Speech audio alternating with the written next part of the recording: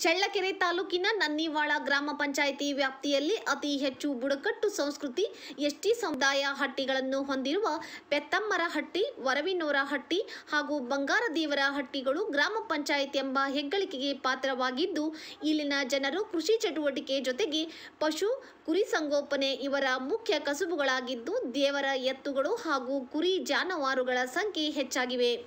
ಪ್ರತಿ ಹಟ್ಟಿಗಳ ಬಳಿ ಜಾನುವಾರುಗಳಿಗಾಗಿ ಗ್ರಾಮ ಪಂಚಾಯಿತಿ ವತಿಯಿಂದ ಸಾರ್ವಜನಿಕ ತೆರಿಗೆ ರೂಪದಲ್ಲಿ ಸಂಗ್ರಹಿಸಿದ ಹಣದಲ್ಲಿ ನಿರ್ಮಿಸಿರುವ ಜಾನುವಾರುಗಳ ಕುಡಿಯುವ ನೀರಿನ ಸಿಮೆಂಟ್ ತೊಟ್ಟಿಗಳು ಜನಪ್ರತಿನಿಧಿಗಳ ಅಧಿಕಾರಿಗಳ ನಿರ್ಲಕ್ಷ್ಯತೆಯಿಂದ ನೀರಿಲ್ಲದೆ ಖಾಲಿಯಾಗಿದ್ದು ಗಿಡಗಂಟೆಗಳು ಬೆಳೆದು ಬಿರುಕು ಬಿಟ್ಟಿವೆ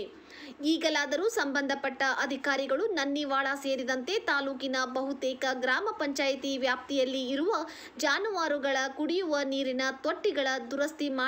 ನೀರನ್ನು ತುಂಬಿಸಿ ದನಕರುಗಳ ನೀರಿನ ದಾಹ ತೀರಿಸಲು ಮುಂದಾಗುವರೆ ಎಂದು ಕಾದು ನೋಡಬೇಕಿದೆ. Mounesh Achar, NKS TV four, Challakere.